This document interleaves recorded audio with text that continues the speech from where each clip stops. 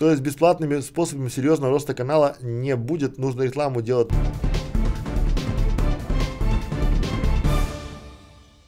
Вот я сейчас а, записываю ролик а, 13 факторов ранжирования Google в 2019 году. Такой ролик 13 факторов ранжирования Google в 2018 году принес мне там десяток тысяч просмотров, э, десяток консультаций, и я на него потратил один день своего времени. И он до сих пор ранжируется, приносит ко мне просмотры и клиентов.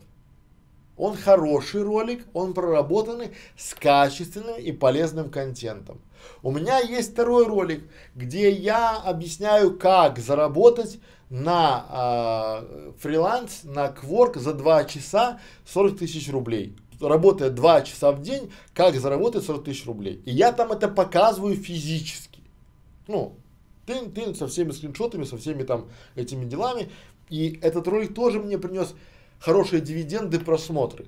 А есть ролик, а, который я там снимаю что-то непонятное. И он не то есть его можно развить, только интегрировал его куда-то, там интересный контент, но он не стрельнул.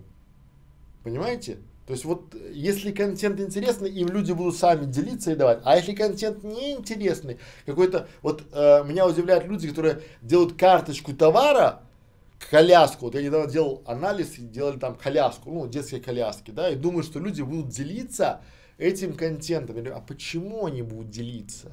Зачем им делиться этой коляской?